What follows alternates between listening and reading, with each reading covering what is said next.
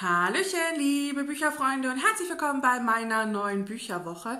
Der Bücherwoche meines Urlaubs. Ja, ich habe eine Woche faul umhergehangen und äh, ja, habe die freie Woche rund um meinen Geburtstag sehr, sehr genossen. Hatte wirklich eine sehr entspannte und schöne Zeit. Und äh, ja, manchmal braucht man so eine Auszeit und man merkt das ja oft erst, wenn es dann soweit ist. Also ja, ich habe das sehr genossen und äh, natürlich ist eine Woche jetzt nicht äh, richtig lange, aber so, um ein bisschen runterzukommen, zu entspannen, Bücher zu lesen, Serien zu schauen, Film zu gucken, war es absolut ausreichend und natürlich auch ein bisschen was so im Haus und Hof äh, zu erledigen. Ich habe fünf Bücher gelesen, gehört, ähm, doch recht sachbuchlastig, dachte ich jetzt. Ich dachte, das war eigentlich gar nicht so äh, die Absicht. Ein Buch davon wurde auch abgebrochen und äh, ja, auch eins, was mich, oder zwei, die mich nicht so begeistert haben. Ja, also es war zwar von der Vielzahl an Büchern äh, relativ viel und spannend, allerdings waren sie auch relativ dünn. Also es ist im Vergleich dann gar nicht äh, ich sag mal, so viel gelesen worden wie sonst, was ja bei mir im Urlaub sehr häufig tatsächlich äh, so ist. Es wird in der nächsten Woche keine Bücherwoche geben, weil ich jetzt drei sehr dicke Bücher am Start habe. Eins, was ich in der Leserunde gemeinsam lese und daher wir das schon ganz bewusst auf zwei Wochen aufgeteilt haben. Und ich dachte, Mensch, da kannst du auch so ein Wälzer Hörbuch noch hören und nebenbei ein anderes Buch so ein bisschen mitlesen oder anschauen. Und dementsprechend wird es nächste Woche keine Bücherwoche geben, aber es wird ein anderes Video geben. Ich vermute mal, es wird die Rache des Sub äh, für den Monat Monat Januar, der fehlt nämlich noch. Und äh, ja, also ihr bekommt auf jeden Fall samstags äh, ein Video, aber keine Bücherwoche. Da bin ich dann erst in zwei Wochen wieder da. Äh, ansonsten auch Serie, Film und darüber werde ich definitiv später ein bisschen berichten. Und nein, Serie nicht, tatsächlich nur zwei Filme. So ist es eigentlich richtig. Ja, aber starten wir mit den Büchern. Ich packe die Bücher äh, unten in die Infobox, auch mit den Zeitstempeln, wenn euch irgendwie ein Buch äh, besonders interessiert, dass ihr einfach vor und zurückspringen springen könnt, wie ihr möchtet. Ähm, schaut da also gerne auch mal in die Infobox. Ja, begonnen hat die Woche mit dem Abbruch Hörbuch und zwar für Immerhaus von Kai Meier. Ähm, das habe ich montags begonnen und direkt auch montags dann abgebrochen. Mit äh, einer lieben Freundin habe ich Barfuß auf dem Sommerdeich von Katja Just äh, gelesen. Leider nicht so, wie wir uns das vorgestellt haben. Dann hatte ich direkt Lust auf einen weiteren ja, Reisebericht und oder Lebensbericht und habe Pfoten im Schnee von Lotti Meyer gelesen. Und ja, die beiden Bücher sind in der gleichen Reihe sozusagen äh, erschienen. Dann wurde es ein bisschen japanisch mit Ikigai von Mirales und Garcia. Das habe ich auch zusammen mit einer Freundin gelesen und das Cover finde ich tatsächlich richtig schön mit diesen äh, Koi-Karpfen. Sind das Koi-Karpfen? Goldfischen, je nachdem. Ähm, ja, bin ich, ähm, ja, bin ich auf jeden Fall auch sehr angetan von. Und dann ein Buch. Ja, der fürsorgliche Mr. Cave von Matt Haig. Lasst uns alle durchatmen, bevor wir dann zu diesem Buch kommen, weil ja, ich weiß auch nicht mehr so richtig, was ich davon halten soll. Aber wir beginnen mit dem Für immer Haus von Kai Meier. Ich fand, dass das Buch super spannend klang, als es, ich glaube, im letzten Jahr irgendwie erschienen ist. Ich habe es dann von Ed Gelly als auch als Hörbuch, Rezensionsexemplar erhalten. Simon Jäger spricht das Hörbuch und das hat im Grunde dafür gesprochen, dass ich dann gesagt habe, ja, da hole ich mir definitiv auch die gesprochene Version. Ich hatte bisher noch nicht so richtig Glück mit ähm, Kai Meier. Ich habe einige seiner Bücher abgebrochen. Ich fand diese Seiten der Welt nur so okay. Ich habe jetzt noch ein Buch von ihm auf dem Sub, das liegt auch irgendwo hier unten. Und ähm, das ist diese Chinlande. Ich werde mich daran jetzt nochmal probieren. Wenn das aber auch nichts ist, dann werde ich den Autor einfach abhaken. Dann das für Immerhaus, was hier titelgebend ist, äh, steht zwischen den Welten und es hat tausende von Hallen und auch Seelen und endlose Korridore. Dort stranden erfolgreiche Helden, die in ihrer Welt, in ihrer Geschichte, ja, im Grunde ja, die Menschheit gerettet haben, ihr Volk gerettet haben, aber dann ins Exil abgeschoben wurden. Und Karl, den wir hier auch antreffen, ist einer der ersten Gestrandeten, der sich an seinen Namen erinnern kann und der sich auch gar nicht so als Held sieht oder gar Erlöser, sondern sich tatsächlich fragt, was mache ich eigentlich hier? Wir treffen auch andere Bewohner in diesem für immer Haus und die suchen jetzt eben einen Ausweg aus diesem Haus und ähm, ja, ich habe so 30 Prozent gehört, was jetzt nach mehr klingt, als es dann tatsächlich in Hörzeit ähm, für einen freien Montag äh, war.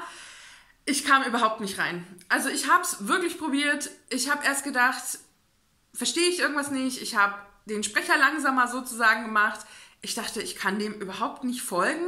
Es begann unfassbar überladen. Also es war so viel zu Beginn. Ich habe nicht reingefunden in die Geschichte. Ich verstehe auch immer noch nicht so richtig, wohin die Geschichte wollte, was sie mir sagen möchte.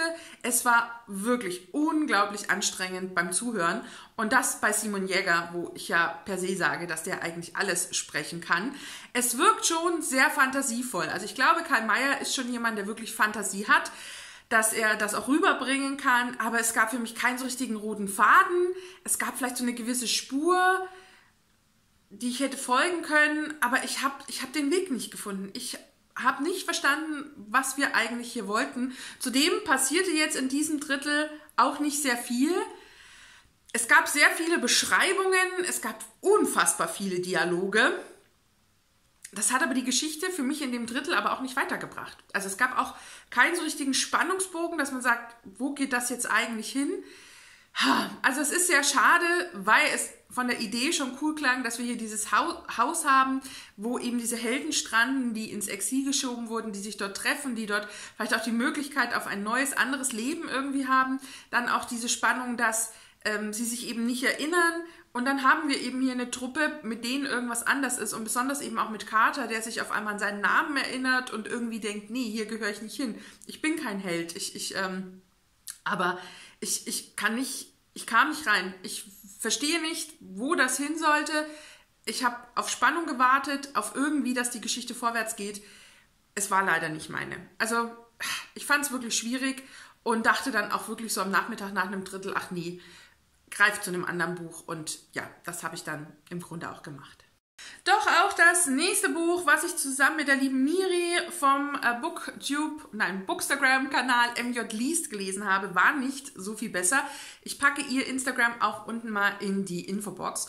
Und zwar Barfuß auf dem Sommerdeich von Katja Just. Ein Buch von der lieben Miri, ähm, was ich ihr zu Weihnachten geschenkt habe, mir gleich mit eine Ausgabe zugelegt habe und, und, und ich uns sozusagen dann auch gemeinsame Lesezeit geschenkt habe. Es ist der vierte vierte Band der Sehnsuchtsorte-Reihe äh, aus dem Edel, nein, Eden Verlag. Und das nächste Buch ist auch aus, dem, aus der gleichen Reihe. Und es gibt, glaube ich, 15 Stück, wenn ich das richtig gesehen habe. Und es sind schon noch so drei, vier spannende Geschichten dabei. Ähm, ja, die Autorin, ähm, die Katja Just, zieht ähm, nach einer ja, vielleicht auch irgendwie gescheiterten Beziehung auf Hogge. Das ist die zweitgrößte Hallig-Insel im holsteinischen Wattenmeer, so wird ein Schuh draus. Es gibt da so rund 100 Einwohner, was schon wirklich sehr, sehr klein ist. Unter anderem wohnen auch ihre Eltern, also ihre Mutter mit ihrem Stiefvater schon dort und sie kennt diese Gegend auch aus ihrer Kindheit.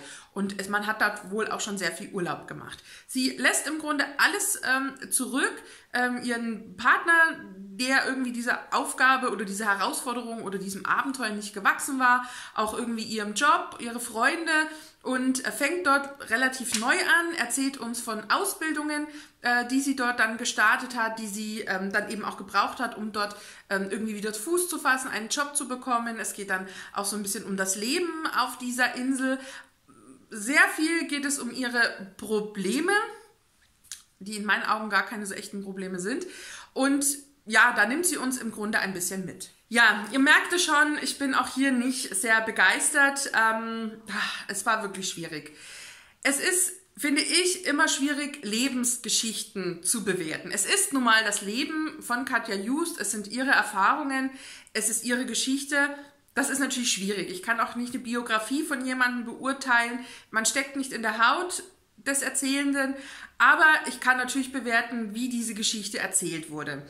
Also ja, nicht das Leben oder welche Entscheidungen sie getroffen hat, das möchte ich wirklich nicht bewerten oder verurteilen oder was auch immer, sondern mir geht es wirklich um die Art, wie sie es erzählt. Und ach, wie sie es uns erzählt, war sehr merkwürdig, war sehr egoistisch und war sehr konfus. Also sie kam für mich überhaupt nicht sympathisch rüber. Es ist eine sehr egoistische Art, die sie an den Tag legt das, das fand ich ganz, ganz schwierig. Ich muss meinen Protagonisten in der Geschichte nicht immer mögen. Ich mag auch einen coolen Bösewicht, ne? Aber ich weiß nicht so richtig, was uns die Autorin sagen wollte. Ja, sie, sie stürmt da irgendwie auf diese Hallig-Insel. Erst denkt man, es ist ein großes Abenteuer, aber eigentlich kennt sie die Insel, eigentlich kennt sie das Leben, eigentlich hat sie ihre Eltern dort. So richtig flüchtet sie, vielleicht auch davon, weil das mit ihrem Ex-Partner nicht funktioniert hat, auch die Freundschaften irgendwie. Das ist alles so, so ungreifbar. Also das meine ich auch mit Problemen. Ich habe ihre Probleme nicht verstanden. Ich habe alles, was sie hier drin als Problem wälzt und sich Gedanken darüber macht. Und sie macht sich sehr viele Gedanken. Ich habe das nicht verstanden, wo ihr Problem dahinter ist. Ich fand das teilweise jammern auf sehr, sehr hohem Niveau. Und ich hatte da wirklich meine Schwierigkeiten. Das letzte Drittel, wo wir schon eigentlich so im Überlegen waren, lesen wir das wirklich weiter, war mit das informativste, wenn es um die, die Hocke, also um diese hallige Insel geht. Also wo wir wirklich mal erfahren, wie ist das Leben dort? Was passiert, wenn ein Sturm kommt? Wie ist das mit der Fähre? Wie ist das mit den Touristen? Und so weiter. Das war für mich tatsächlich so spannend, weil ich wollte natürlich was von dieser Hocke, von dieser Halliginsel erfahren. Wie ist das Leben dort? Welche Herausforderungen gibt es? Wie geht man miteinander um? Und so weiter. Ich wollte davon lesen und hören und wie sie vielleicht in der Gemeinschaft aufgenommen wurde oder eben nicht und warum nicht und wie ähm, sie sich vielleicht auch dann zum Festland irgendwie verändert, wie das mit ihren Freunden sein wird und so weiter. Ich hatte so viele Fragen Fragen und Gedanken, aber es wurden nur sehr, sehr wenige davon irgendwie angerissen, denn die meiste Zeit dreht sich es eben um Probleme und Gedanken und noch mehr Probleme und Liebeleien und keiner versteht sie und ich denke mir, ja, weil du es überhaupt nicht erklären kannst, was dein Problem ist. Also mir war es zu viel Grübelei, mir war es auch diese Problemwälzerei. Also ja, man neigt natürlich als Mensch irgendwie schon dazu und es steht mir auch gar nicht zu, ihre Probleme zu bewerten, aber sie schreibt sie ja nieder und sie erklärt mir nicht, wo ihr Problem ist. Und gleichzeitig erzählt sie aber immer wieder über ihre Probleme, wo ich denke, was, was ist denn da dein Problem? Ich habe es nicht verstanden. Wir beide, Miriam und ich, fanden es leider nicht gut. Ähm, es war schon locker, es war flüssig. Äh, gar keine Frage. Und wie gesagt, das letzte Drittel hat dann auch endlich mal ein bisschen was über diese eigentliche Insel erzählt. Aber das ist definitiv kein Buch, was man gelesen haben muss. Ganz im Gegenteil. Da habe ich schon so viele andere spannendere, tollere, sympathischere Reise- oder Auswanderungs- oder Lebensberichte, wie auch immer, gelesen. Ähm, ja, das hat Katja Just für mich nicht wirklich gut hinbekommen. Dann kommen wir direkt zum Kontrastprogramm, nämlich Pfoten im Schnee von Lotti Meyer. Ich hatte Lust auf Schnee und Reisen und das ist hier der zwölfte Band der Sehnsuchtsorte. Also man sieht auch schon an der Optik, ähm, ja, dass die natürlich irgendwie zusammengehören. Äh, das eine wird ausziehen, Pfoten im Schnee wird definitiv bleiben.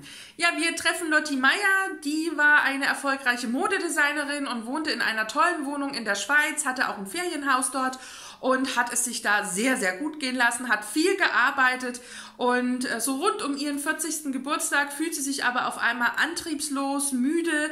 Dann stellt sie auch ihr Leben in Frage und relativ spontan entscheidet sie sich ähm, auch nach etwas, was in ihrer Firma passiert ist, ähm, ja, für einen Urlaub. Sie reist ähm, auf eine Hundeschlittentour nach Lappland und dort angekommen verliebt sie sich in die Huskies, in die Natur und auch in die Polarlichter. Als dann auch irgendwann noch ihr Herz anfängt, sich äh, in einen Mann zu verlieben, ähm, ja, entscheidet sie sich für einen Neustart ähm, ja, am Polarkreis, zieht mit Sack und Pack ähm, ja, nach oben. Ich glaube, sie ist nach Schweden gezogen. Ähm, ursprünglich war sie ja Lappland, was ja irgendwo, glaube ich, auch eher Finnland ist, wenn ich mich jetzt nicht ganz vertue. Aber ähm, ja, sie zieht nach oben und beginnt dort ein neues Leben und steht da vor allerlei Herausforderungen. Und um hier vielleicht schon den Unterschied gleich zu machen, ich habe hier die Probleme und Gedanken verstanden, während ich das bei dem anderen Buch überhaupt nicht konnte. Aber gut, jetzt kann man natürlich sagen, eine 40-jährige Frau überdenkt irgendwie ihr Leben. Ist das irgendwie eine Midlife-Crisis? Ja, das könnte durchaus äh, so der Fall sein. Man könnte es so bezeichnen. Aber es steckt hinter dieser wunderbaren Geschichte dann doch viel, viel mehr. Es ist wirklich eine Geschichte, die von der Liebe zur Natur erzählt, zu den Tieren, besonders zu den Huskies. Aber Lotti Meier hat auch Katzen, die auch mit ihr auswandern. Und man spürt wirklich, wie verbunden sie mit den Tieren ist. Sei es wirklich mit ihren Hunden, mit den Huskies oder dann auch mit ihren Katzen oder eben auch mit Pferden, die dann nochmal eine Rolle spielen. Ich fand Lotti Meier super sympathisch. Also sie war sehr geerdet, sie war sehr realistisch, sie hat vieles auch hinterfragt, was so Träumereien waren. Sie hat schnell wieder auch auf dem Boden gefunden, wurde aber so ein bisschen von außen immer wieder zu etwas dummen Entscheidungen angetrieben und leider neigte sie selbst eben auch zu etwas einer naiveren Art. Ähm, und sie sah in vielen Dingen eben gar nicht so dieses Problem, diese Herausforderungen, sondern anfangs ist sie da noch sehr mitgeschwommen, was dann eben auch einfach zu Geldproblemen führt und das eben auch in einem fremden Land. Allerdings, wie gesagt, bringt Lotti Meier für mich ihre Probleme, Herausforderungen, Gedanken viel besser rüber, sodass ich auch verstehe, warum sie da so hadert oder was ihr Problem ist. Und manchmal hat sie ihr Problem gar nicht selbst erkannt, aber man als Leser dachte, ja, das könnte es wohl dann irgendwie sein. Sie war super sympathisch, das muss man wirklich sagen. Sie bringt es super rüber, wie sich die Veränderungen in ihrem Leben angefühlt haben, wie die Familie damit umgegangen ist, wie sie neue Freunde findet, neue Herausforderungen. Und ich fand einfach ihr großes, großes Herz für die Tiere. Das fand ich so, so, so toll. Und es gibt einige traurige Stellen, wenn man sich eben auch mal von dem Tier verabschieden muss. Da habe ich ganz schön mit mir gekämpft. Da habe ich dann auch gemerkt, wie emotional ähm, Lotti Meier hier eigentlich schreibt, ohne es irgendwie zu sehr auszuschmücken. Und ich dachte, ja, ich, mir sind diese Tiere, von denen sie dann eben immer mal berichtet, so auch schon ans Herz gewachsen, obwohl wir ja auch kein äh, dickes Buch haben. Und ich fand eben auch schön, wie sie so Unterschiede macht zu den Menschen, zu den Kulturen, auch zwischen zum Beispiel den Huskies, ähm, wo sie da eben auch die Unterschiede zeigt, wie das Tiere eben auch einen Charakter haben, jedes Tier anders ist. Und ähm, ja, ich lebe hier mit Katzen, ich kann das absolut bestätigen. Keine Katze ist wie die andere. Ähm, also es ist wirklich wie jeder Mensch anders ist, sind das auch die Tiere. Sprachlich ist es sehr locker, es ist sehr leicht, es ist flüssig, sehr nachvollziehbar und ich fand auch sehr bildhaft, was die Natur betraf. Also man hatte wirklich diese wunderbare Landschaft vor Augen, was jetzt nicht mein favorisierter Urlaubsort wäre. Aber so eine Husky-Tour stünde definitiv auch auf meiner Bucketlist, weil ich das mir definitiv auch ganz wunderbar vorstelle. Ich hätte mir an mancher Stelle vielleicht tatsächlich noch ein bisschen mehr Natur gewünscht und vielleicht auch ein bisschen mehr Infos äh, zu den Husky-Touren. Das kam ein bisschen kurz, ähm, auch vielleicht tatsächlich, wie man so eine Tour auswählt, wie die Hunde darauf ausgewählt werden und ähnlichem. Ähm, vielleicht ein bisschen weniger Herzschmerz, dafür ein bisschen mehr Husky und Husky-Touren. Ich glaube, das ähm, ja, wäre definitiv ähm, noch eine gute Entscheidung gewesen. Ähm, man merkt auch in dem Buch, dass man nie zu alt für blöde Entscheidungen ist und das fand ich tatsächlich sehr schön und dachte mir, ja, auch mit 50 kann man einfach, oder in dem Fall war sie ja anfangs 40, kann man einfach noch blöde Entscheidungen treffen ich fand hier tatsächlich einfach gut, wie sie es rübergebracht hat. Und wie gesagt, ich möchte, wie auch beim anderen Buch, nicht den Lebensbericht, diese Entscheidungen irgendwie beurteilen, sondern nur, wie sie uns davon erzählt. Ich hätte nach dem Buch direkt Lust gehabt, mich nach Lappland aufzumachen, eine Husky-Tour zu machen. Dabei bin ich überhaupt kein Schneemensch und das mag jetzt was heißen. Pfoten im Schnee, absolute Empfehlung, hat mir sehr, sehr gut gefallen, wird definitiv im Regal bleiben und ähm, hat auf jeden Fall sehr, sehr viel Spaß gemacht. Ein weiteres Sachbuch kommt dann aus Japan und ist Ikigai von Francis Mirales Hector Garcia und äh, ist, glaube ich, letztes Jahr im Herbst bei mir eingezogen und ich bin dem Buch nämlich öfter über den Weg gelaufen, beziehungsweise diesem Trendthema Ikigai. Und ähm, ja, der Untertitel lautet von dem Buch Gesund und glücklich 100 werden. Und das hat mich eben auch einfach neugierig gemacht und so auch meine Freundin. Und so haben wir uns das Buch jetzt so zum Jahresstart einfach mal eingeteilt und auch gemeinsam gelesen. Ja, Ikigai, was ist das eigentlich? Das ist neu, ein neuer Trend im Grunde aus Japan, der nach dem Geheimnis sucht für ein langes und gesundes Leben. Äh, den Japanern zufolge hat eben jeder Mensch dieses Ikigai, was dafür steht, wofür man morgens aufsteht, wofür man brennt und was so ein bisschen der Sinn des Lebens sozusagen ist. Also was uns antreibt, ähm, im Grunde dieses Leben auch lebenswert zu führen. Es gibt die japanische Insel Okinawa. Ja, das ist der Ort mit den meisten Hundertjährigen, wo man als Mit-80er noch als junger Spund gilt. Das fand ich großartig. Auch dort wird eben geforscht und wir haben auch Interviews, die dort geführt werden und beschäftigen uns eben mit den ja, Möglichkeiten, gesund alt zu werden und äh, was eben vielleicht tatsächlich die Bewohner dieser Insel anders machen als viele andere. Dieses Buch empfehle ich so ein bisschen eingeschränkt. Vor allem für Anfänger ist dieses Buch wirklich ein Highlight. Also die vorher noch nichts irgendwie über Achtsamkeit, Yoga, Meditation oder ähnliche Themen gelesen haben, die werden mit diesem Buch absolut ihren Spaß haben, können sich damit einfinden, weil das Buch ist sehr leicht, der Stil ist flüssig, es ist viel erklärt, es hat praktische Ideen, es gibt wunderbare Impulse und ich glaube, wenn man noch nichts äh, irgendwie von so einem Thema, gerade Achtsamkeit, äh, gehört hat, dann ist das der perfekte Einstieg, um sich da mal ein Bild zu machen. Es ist wirklich einfach, es hat tolle Elemente, wo es eben Dinge auch ja, bildhaft erklärt. Wir haben die Interviews, wo man herausziehen kann, was ist vielleicht das Besondere dann tatsächlich auch äh, daran ähm, oder ja, woher haben die 100-Jährigen ihre Energie. Mein vielleicht kleines Problem, ich möchte es eigentlich gar nicht als großes Problem nehmen, ist, dass wir hier einmal die wunderbare Grafik haben zum Ikigai, woraus das im Grunde so ein bisschen besteht. Mir persönlich ging es an mancher Stelle zu wenig um das eigentliche Ikigai. Ähm, ich finde die Interviews spannend, ich finde die Impulse gut, ich fand es toll, welche Gedanken es in mir auch ausgelöst hat. Ähm, für mich waren es aber tatsächlich eher Impulse als wirklich neue Gedanken, aber das kann man gar nicht erwarten, weil ich mich einfach mit dem Thema schon länger beschäftige. Ich fand aber tatsächlich, dass es um das eigentliche Ikigai, wie man vielleicht auch zu dieser ja, lebensbrennenden Aufgabe kommt, ähm, wie man diesen Weg dahin findet. Ich fand das fast ein bisschen wenig. Aber es war ein tolles Buch. Es hat wirklich wunderbare Impulse in mir freigesetzt. Es hat auch einfach nochmal so dieses Achtsamkeitsthema nach vorne gebracht. Es gibt auch einige ähm, Tipps und, und Hinweise, also sei es von der Ernährung über die Bewegung. Es wurde auch vom Mabui gesprochen. Ähm, da sind wir ja so in einer Religion, wo es dann ähm, ja um den, um den Tod auch geht, ähm, wie da so die Verbindung ist. Es gibt Tipps äh, zu Teesorten, die ich mir hier auch ähm, äh, mal markiert habe. Und ähm, ja, dann gibt es eben einfach so auch diese Gedanken, ähm, was zum Essen, ja, auch zum Beispiel keine Leute zu treffen, die man nicht mag, die einen aufregen ähm, und eher negativ für sich selbst sind. Und ja, also tolle Impulse, wirklich auch einfach und toll verpackt.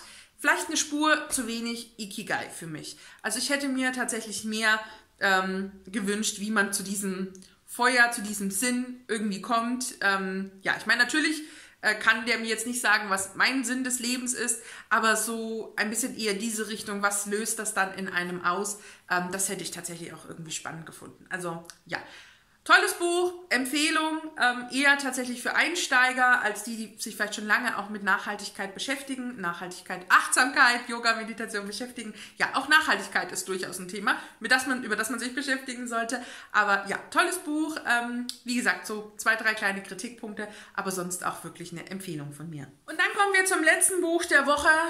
Und ich muss sagen, ich bin ein bisschen ratlos und mir fehlen auch ein bisschen die Worte. Ja, es ist der fürsorgliche Mr. Cave von Matt Haig. Ich hatte das ja auch bei den Neuerscheinungen fürs erste Quartal vorgestellt und auch gesagt, auch nach der Mitternachtsbibliothek möchte ich Matt Haig unbedingt noch eine Chance geben. Ich habe das Buch bei vorablesen.de gewonnen und konnte es so eben auch schon vor dem Erscheinungstag, äh, der glaube ich der 1. Februar ist, äh, lesen. Bin da auch eigentlich sehr, sehr dankbar und happy darüber. Ich weiß nur nicht, ja, ich bin wirklich so ein bisschen ohne Worte, was dieses Buch soll, tatsächlich. Ähm, das Buch handelt um, um Terence Cave, der Antiquitätenhändler ist, der beim tragischen Tod äh, nach einem Unfall äh, von seinem 14-jährigen Sohn ähm, Ruben dabei ist, zusehen muss äh, jetzt ist er allein mit der, seiner Tochter, das ist die Zwillingsschwester, das ist Bryony. Auch seine Frau ist vor einigen Jahren gestorben bei einem Einbruch oder auch Überfall in seinem Geschäft. Und nun weckt in ihm der, der Beschützerinstinkt und er will seine Tochter beschützen. Er schafft immer mehr Regeln. Er zwingt sie im Grunde dazu zu lügen, sich rauszuschleichen es herrscht ein Misstrauen zwischen den beiden. Zudem ist auch seine Schwiegermutter mit dabei, die versucht, ihn immer mal wieder so auf Spur zu bringen und versucht auch ihrer Enkelin beizustehen. Aber man merkt hier, wie sich der Abgrund von Terence öffnet und wir wirklich in menschliche Abgründe hinabsinken. Ähm, ja, ja, es ist ein sehr deprimierendes Buch. Ich, ähm, also ich möchte, vielleicht fange ich mit dem Positiven an. Matt Haig kann schreiben. Es ist faszinierend, wie er Worte zusammenbringt, wie er Dinge beschreibt, wie er Situationen rüberbringt, wie er auch die Abgründe von Menschen beschreibt, insbesondere hier von Terence Cave. Das ist wirklich richtig, richtig toll. Also das hat wirklich lesetechnisch Spaß gemacht deswegen bin ich, glaube ich, auch dran geblieben. Das habe ich auch bei der Mitternachtsbibliothek gesagt. Er kann schreiben, aber hier stellt sich eine große Frage, was will mir Matt Haig eigentlich mit dieser Geschichte sagen und was will mir eigentlich der Verlag sagen?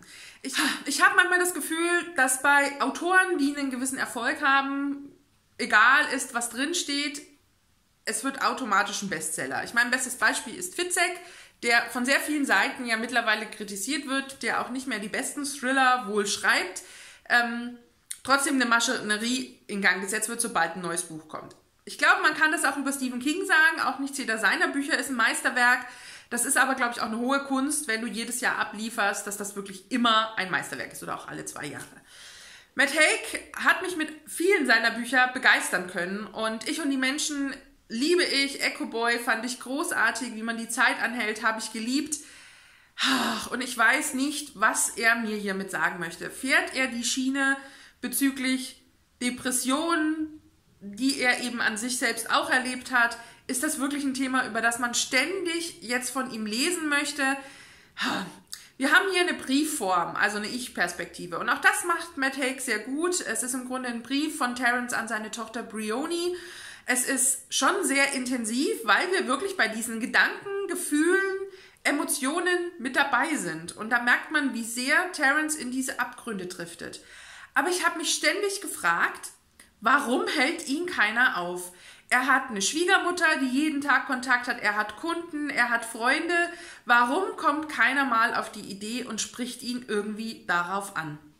Und ja, jetzt leben wir alle in einer ganz schnelllebigen Zeit und spricht man einen Freund an, nur weil er vielleicht sich komisch verhält. Ich meine, gerade ist ja auch sein Sohn gestorben. Ich weiß das, mir ist das alles bewusst. Ähm, aber wenn sich jemand so verhält, da würde ich definitiv entweder im Freundeskreis mal darüber sprechen oder ihn auch direkt mal zu einem Gespräch bitten. Und ich frage mich immer, warum das in Geschichten, die Fiktion sind, nicht passiert. Natürlich wäre die Geschichte wahrscheinlich dann zu Ende. Das ist wie wenn man bei einem Thriller die Polizei ruft.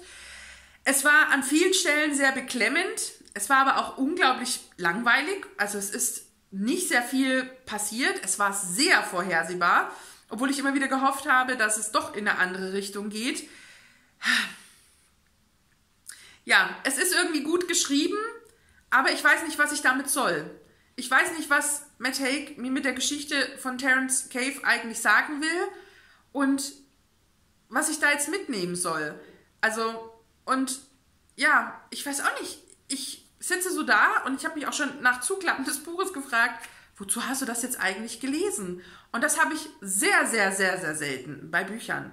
Ähm, ich hatte das ja auch schon bei der Mitternachtsbibliothek, dass ich mich gefragt habe, was will man mir damit sagen, wenn egal ist, welches Buch ich von meinem Leben aufklappe, im Grunde alles irgendwie doof ist. Ähm, und so fühlt sich das hier auch an. Also ich bin in diesen menschlichen Abgrund mitgegangen. Das war gut beschrieben, manchmal sehr schwer, das auszuhalten und zu ertragen. Ich hätte das bei einem Roman auch nicht erwartet. Also das hatte für mich hier schon Psychothriller-Charakter, jetzt mit kein Blut, ne?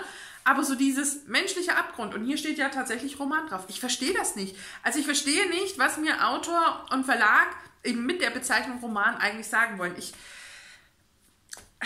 ja, mir fehlen irgendwie die Worte. Ich weiß dass das jetzt, glaube ich, auch nicht. Ähm, also ich hoffe, ich konnte meine Gedanken so ein bisschen rüberbringen, aber es fällt mir schwer, da irgendwas rauszuziehen. Außer, dass es einen guten Schreibstil hat, fand ich den Rest der Geschichte irgendwie wozu und warum und wieso als Roman? Und ja, ich, ja, natürlich, und das möchte ich noch anmerken, haben wir hier Mr. Cave, der trauert. Und jeder trauert anders. Das ist mir absolut bewusst, absolut klar. Aber ich bin froh, dass, oder ich gehe davon aus und bin froh darüber, dass nicht sehr viele Menschen so sind, wie hier beschrieben. Also das ist ja, also es ist sehr schwierig, es war eine schwierige Geburt, so gefühlt, wie man das so schön sagt. Ähm, ja, ich weiß auch nicht. Vielleicht, wenn ihr es dann gelesen habt, ähm, gibt es ja auch die ein oder andere Rezension. Ich habe schon gesehen, bei Vorablesen sind schon ein paar Rezensionen hinterlegt. Das ist auch sehr gemischt. Äh, von Meisterwerk bis hin zu langweilig. Ähm, und das würde ich definitiv auch unterschreiben, weil irgendwie auf den 300 Seiten, sind das überhaupt 300 Seiten? Nee, 250 Seiten. Also man weiß im Grunde nach Seite 50 ähm, und hofft eigentlich immer nur, dass es nicht so endet. Ja, aber gut, das zu den fünf Büchern der Woche, also doch ein bisschen, ähm, ja, eine merkwürdige Woche, die nicht nur Highlights parat hatte. Ich habe mir Harry Potters 20-jähriges Jubiläum angeschaut. Ich habe mir extra jetzt Sky Ticket geholt. Ich habe leider noch nicht so viel mehr auf Sky jetzt entdeckt, was mich irgendwie anspricht. Ähm, aber ich habe jetzt äh, das 20-jährige Jubiläum mir angeschaut und es war wirklich schön. Es gibt es aktuell nur in Originalsprache, also in Englisch. Das fand ich aber absolut in, in, in Ordnung. Da kann man gut folgen. Es ist ja so, wie wenn alle ehemaligen Schüler, die wir eben aus den Filmen kennen, eingeladen werden zur äh, ja, Jahrfeier, äh, zur Jubiläumsfeier und die treffen sich dann eben auch wirklich in Hogwarts, sie unterhalten sich miteinander, sie haben Austausch mit anderen aus den Filmen. Ähm, wir treffen oder ja, werden auch ein bisschen mitgenommen zu all denen, die bereits verstorben sind. Auch denen wird ein wunderbarer Teil dieser Geschichte ähm, ja, im Grunde gewidmet. Es hat mich schon sehr berührt. Also ich bin ein absoluter Potterhead. Ich, man sieht es hier oben unverkennbar. Und ich muss schon sagen, ja, mich hat es sehr gefesselt. Mich hat es sehr begeistert, alle nochmal so erwachsen zu sehen, groß zu sehen, ihre Gedanken zu sehen, wie, wie sie das damals empfunden haben, was gut lief, vielleicht nicht so gut lief, wie das heute so ist, was das für Auswirkungen auf ihr Leben hatte. Und ich, ich fand das schon richtig großartig. Also ich habe ganz schön oft Tränen in den Augen gehabt, ähm, einfach da zurückzukehren in diese Welt, die mich immer wieder nach Hause bringt und die auch mir so viel bedeutet. Und dass man dann eben auch sieht, natürlich all die, die dann auch die Filme geprägt haben, ähm, dass auch die hier ähm, ja, im Grunde einfach zu Wort kommen und ihre Gedanken sagen können. Ich fand es gut, trotz allem, was man über J.K. Rowling denken mag, dass man sie nicht ausgeklammert hat, so aller du weißt schon wer, sondern äh, sie auch zu Wort kam, zwar mit älterem Interviewmaterial, aber doch ganz passend, dass man auch offen ähm, über sie und ihre Fantasie sozusagen gesprochen hat, also dass man da nicht gesagt hat, wir dürfen jetzt nicht über sie sprechen. Ich meine, sie ist nun mal die Erfinderin dieser wunderbaren Welt und nur weil sie scheinbar in der Realität ähm, nicht so ja, sympathisch mehr ist, nicht mehr ähm, das im Grunde irgendwie als, als, als ähm, ja, als Meinung teilt, äh, wie sie es zum Teil ja in den Büchern auch einfach gemacht hat. Ähm, äh, ja, also gar keine Frage, aber ich, ich ähm, liebe deswegen trotzdem diese Welt und finde es gut, dass man ihr dahingehend zumindest ähm, auch einfach das Lob, sage ich mal, ausgesprochen hat, was für eine tolle Welt sie erschaffen hat. Und ähm, das kann man ihr auch nicht absprechen. Und ähm, ja, aber ja, es war wunderschön, einige Tränchen geweint und äh, dann bin ich auf Disney Plus gegangen und ähm, ja, habe meiner Becky mal vertraut und habe Lilo und Stitch geguckt. Äh, ein Film, der ich glaube aus 2003 ist und ich mir immer eingebildet habe, ich hätte den im Kino gesehen, aber scheinbar nicht, denn er kam mir nicht bekannt vor. Becky liebt ja Stitch. Also das kleine außerirdische Wesen. Und ich muss echt sagen, es war eine tolle Geschichte. Also wir haben ja hier ein Mädchen, das bei ihrer großen Schwester wohnt und die haben ihre Eltern bei einem Unfall verloren und sie fühlen sich auch so ein bisschen verlassen und allein, aber ähm, ja, wollen irgendwie auch zusammenbleiben und zusammenhalten und das ist aber gar nicht so einfach und es gibt halt gleichzeitig, sind wir irgendwo im Universum auf einem anderen Planeten und Stitch äh, muss bestraft werden und wird eigentlich irgendwie abgeschossen. Irgendwie merkt man, oh, er landet auf diesem Planeten RD, großartig und da lebt ja auch eine Spezies, die ist dafür da, dass wir die Mückenpopulation wieder erhöhen können. Fand ich einfach nur großartig, diese Idee, ähm, dass wir eigentlich nur dazu dienen, dass die Mücken sich ähm, ausbreiten können, also wir Menschen. Und äh, ja, dort landet er, er wird von Lilo äh, eingepackt und ähm, ja, wird als ihr Hund, im Grunde fungiert er und ähm, dann nimmt das Chaos seinen Lauf und das alles mit hawaiianischen, ähm, es klopft hier, es tut mir sehr leid, aber ich hoffe, ihr hört das nicht zu sehr. Ähm, ja, wir haben hier hawaiianische Elvis-Klänge und es hat super viel Spaß gemacht. Also ich habe wirklich so viele Emotionen auch in diesem Film gehabt. Ich habe gelacht, ich habe geweint, ich habe mitgefiebert, ich hatte Spaß, ich hatte Freude, ich fand die Optik richtig, richtig toll, wie die Figuren gezeichnet wurden. Der Hintergrund ist wohl auch äh, wieder so ein bisschen eher ins Aquarell mit Wasserfarben ähm, gewesen, wie es, ich glaube, auch mal bei Dumbo der Fall gewesen ist, wenn ich mich nicht irre. Das macht man heutzutage nicht mehr, weil wenn man natürlich einen falschen Strich setzt, ist dieses ganze Bild, und man redet ja hier nicht nur von fünf Bildern, sondern ich glaube locker von 500. Und das, finde ich, merkt merkt man diesen wunderbaren Film einfach an, dass man hier wirklich so ein altes Disney irgendwie wieder hat und auch wirklich so die Figuren schon sehr speziell gezeichnet sind, ähm, auch so wie ja, einfach die, ja, dass man wirklich so auch, auch dieses, wird es dann hawaiianisch sein, dass man hier wirklich so diese Charakterzüge in Mimik und Gestik und ähm, das fand ich einfach toll. Es hat mir großartig gefallen, wirklich ein bombastischer Film, wirklich ein Film-Highlight unter den Disney-Filmen. Ich bin froh, dass ich ihn noch vor unseren Hangout geguckt habe, den ihr jetzt ja auch schon anschauen könnt, der ja am Donnerstag dann sozusagen live war und ähm, wir werden, denke ich, auf jeden Fall noch öfter über Disney quatschen und starten, haben ja am Donnerstag sozusagen gestartet. Also ähm, ja, vielleicht habt ihr den Hangout ja auch schon gesehen. Eine totale Filmempfehlung, ähm, sollte sich jeder mal angeguckt haben, der ihn noch nicht kennt. Und ja, das war soweit meine Urlaubswoche in Büchern und Filmen. Serientechnisch tatsächlich nichts. Wie kam ich da vorhin drauf? Ich weiß gerade gar nicht. Ähm, wahrscheinlich, weil ich die Woche vorher Serie geguckt habe. Und äh, ja, eine Bücherwoche, die ein bisschen gemischt war, die ähm, besonders mich mit einem Buch sehr sprachlos zurückgelassen hat. Ich bin natürlich neugierig, was ihr so im Januar gelesen habt, was vielleicht euer Highlight oder euer Flop äh, des Monats bisher war. Lasst und mich da gerne in den Kommentaren ein bisschen dran teilhaben. Lasst uns da austauschen, würde ich mich auf jeden Fall sehr, sehr freuen. Und ja, ich danke euch jetzt fürs Zusehen, wünsche euch einen schönen Tag, einen schönes, schönen Abend, ein schönes Wochenende und wir sehen uns dann beim nächsten Video. Macht's gut. Tschüss, eure Steffi.